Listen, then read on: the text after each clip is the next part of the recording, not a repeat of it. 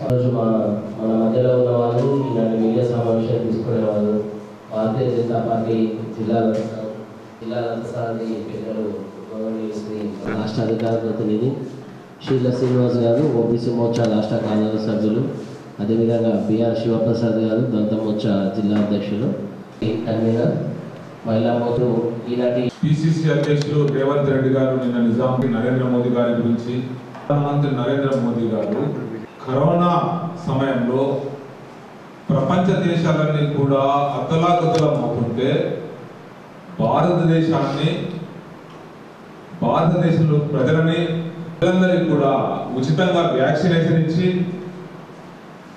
ప్రజలందరూ ఇబ్బందులు కావద్దని చెప్పి ఉచిత బియ్యాన్ని కూడా సప్లై చేస్తూ ఇప్పటి వరకు కూడా ఉచిత బియ్యాన్ని సప్లై చేస్తూ భారతదేశ ప్రజలందరినీ కూడా కాపాడిన ఒక గొప్ప వ్యక్తి. ఆర్థిక వ్యవస్థ కూడా ఎక్కడ కూడా చిన్నాభిన్నం కాకుండా ప్రపంచ దేశాలన్నీ కూడా ఆర్థిక వ్యవస్థలో చిన్నాభిన్నం అయిపోతే భారతదేశ ఆర్థిక పరిస్థితిని పటిష్టంగా తీసుకొస్తున్న ఒక గొప్ప వ్యక్తి గౌరవ ప్రధానమంత్రి నరేంద్ర మోదీ గారు. ఆదాని ఆస్తులు పెరిగినాయి. కరోనా సమయంలో అంటే భారతదేశ ప్రజలందరూ కూడా ఆదాయం కానీ ఆస్తులు కానీ పెరిగినాయి. లేదా మీ సోనియా గాంధీ ఆస్తులు పెరగలేదా? రాహుల్ గాంధీ ఆస్తులు పెరగలేదా? అనే బాధ మీకు ఉండొచ్చు. కానీ భారతదేశ ప్రజలందరినీ కూడా రక్షించుకునే బాధ్యత ఆర్థిక వ్యవస్థను కూడా కాపాడుకునే వ్యవస్థ మన భారతదేశ ప్రభుత్వం యొక్క పరిపాలనా విధానంలోనే ఉంది. ఎక్కడ కూడా మన ఆర్థిక వ్యవస్థ చిన్నభిన్నం కాలేదు. మీ హయాంలో కాంగ్రెస్ హయాంలో పూర్తిగా రోజుకు కుంభకోణం. బొగ్గు కుంభకోణం టూ జీ కుంభకోణం రకరకాల కుంభకోణాలు. ఎక్కడ చూసినా అవినీతి ఏ డిపార్ట్మెంట్లో చూసినా అవినీతి. అంతెందుకు మన నిజామాబాద్లో ఏ నాయకుడు చూసినా కాంగ్రెస్ నాయకుడు అవినీతితోటే ఇక్కడ పరిపాలన సాగించడం జరిగింది. ఎక్కడ కూడా అభివృద్ధికి నోచుకోలేదు. కాంగ్రెస్ పార్టీ ఇంకా ఎక్కడుందయ్యా రేవంత్ రెడ్డి గారు ఇంకా కాంగ్రెస్ పార్టీ అని చెప్పి అధికారంలోకి వస్తుంది పట్టుకొని తిరుగుతూ భారతదేశంలో పూర్తిగా కనుమరుగైపోయింది. ముఖ్యంగా తెలంగాణలో ఎక్కడ లేకుండా అయిపోయింది ఇక నిజామాబాద్ అయితే కనీసం కులాన్ పడిపోయినట్టే ఈరోజు కాంగ్రెస్ పార్టీ పరిస్థితి ఉన్నది. కనీసము ఒక నియోజకవర్గంలో అభ్యర్థులను నిలబెట్టుకునే పరిస్థితి కూడా నిజామాబాద్ జిల్లాలో లేదు. కాబట్టి ఇప్పుడు కాంగ్రెస్ ప్రభుత్వము అధికారంలోకి వస్తుందని ఇప్పుడు మాట్లాడడం అంటే పూర్తిగా విదూరంగా ఉన్నది. తెలంగాణ ప్రజలందరూ కూడా ఈరోజు బీజేపీ వైపు చూడడం జరుగుతుంది. బీజేపీ ఆల్టర్నేటివ్ అని చెప్పి రత్నమాయం ఎవరు అని అంటే ఈరోజు ప్రజలందరూ కూడా చూపించేది ఒకటే గౌరవ ప్రధానమంత్రి నరేంద్ర మోదీ గారి పరిపాలన బాగున్నది దేశంలో బాగున్నది ఇక్కడ రాష్ట్రంలో కూడా అటువంటి పరిపాలన రావాలని చెప్పి కూడా ఈరోజు ప్రజలందరూ కూడా చూడడం జరుగుతుంది. ఈరోజు వారి యొక్క పరిపాలన వల్ల ప్రతి మహిళకు ప్రతి ఇంటికి కూడా గ్యాస్ సిలిండర్ రావడం జరిగింది. అదే కాంగ్రెస్ పీరియడ్లో దాని కొరకు వేచి చూడాల్సిన అవసరం ఉండే. బుకింగ్ చేసుకోవాలా సిలిండర్ రావాలంటే కొన్ని నెలలు పట్టే పరిస్థితి ఉండే. కానీ ఇప్పుడు అడగగానే ఫ్రీగా ప్రతి మహిళకు సిలిండర్ ఇవ్వడం గ్యాస్ని సరఫరా చేయడం చేయడం జరుగుతుంది. అదేవిధంగా అన్ని రాష్ట్రాలు ఆవాస్ యోజన కింద ప్రతి మహిళకు కూడా ప్ర- ఇల్లుండాలా? అర్హులైన ప్రతి మహిళ- మహిళకు ఇల్లుండాలనే ఒక ఆలోచనతోటి ఆవాస్ యోజన కింద కొన్ని లక్షల ఇల్లు కట్టడం జరుగుతుంది. కాబట్టి ఇక్కడ ప్రజలందరూ కూడా చూసేది ఏంటంటే ఇంకా కాంగ్రెస్ పార్టీ పనైపోయింది కాంగ్రెస్ పార్టీ లేనే లేదు.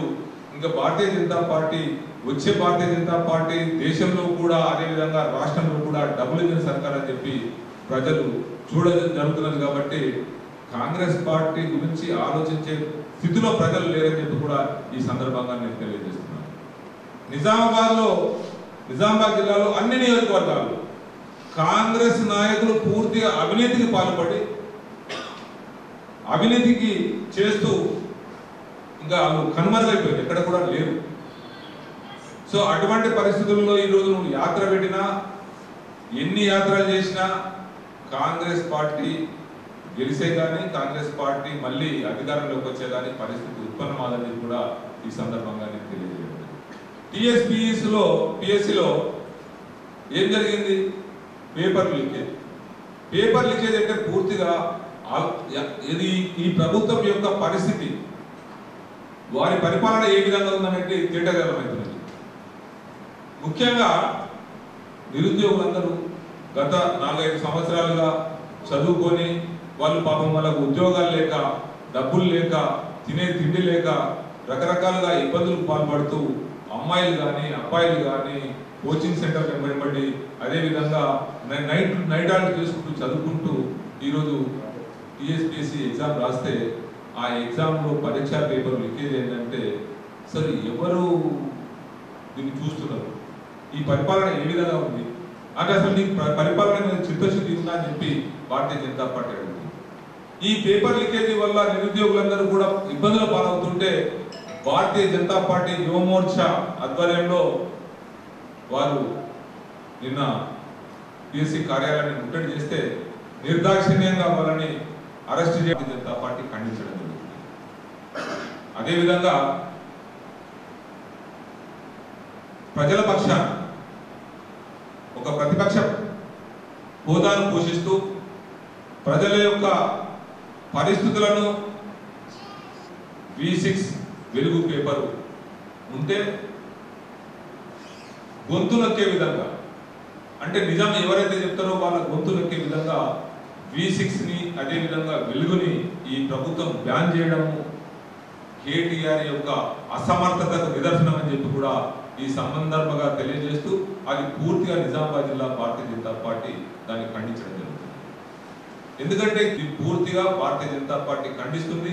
ఇటువంటి నిరంకుశ పాలన నిరసంకు నిరంకుశత్వము ఈరోజు పేపర్లను టీవీలను మీరు బ్యాన్ చేస్తే ప్రజల యొక్క గొంతు నొక్కినా అది ప్ర- సూర్యుని ఇదిగో అరచేతిని అడ్డుపెట్టి సూర్యకాంతిని ఆపలేదన్నట్టు ప్రజల గొంతును మీరు ఆపలేరు.